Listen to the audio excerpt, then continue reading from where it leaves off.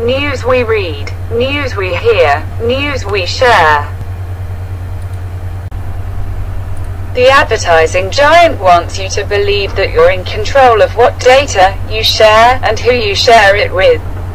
We know that's mostly an illusion built upon conflating the photos you upload with the information the company collects on you. And now, for approximately 14 million people, even that illusion has been shattered.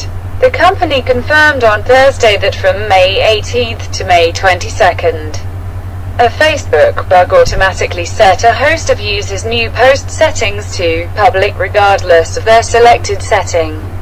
It wasn't fixed until May 27th, which led Facebook to warn its users about any content posted between the 18th and 27th. That means potentially millions of posts that were supposed to be set as private were shared publicly. The company declined to comment on the exact number of posts affected. We recently found a bug that automatically suggested posting publicly when some people were creating their Facebook posts, wrote Facebook's Chief Privacy Officer Erin Egan. We have fixed this issue and starting today we are letting everyone affected know and asking them to review any posts they made during the time.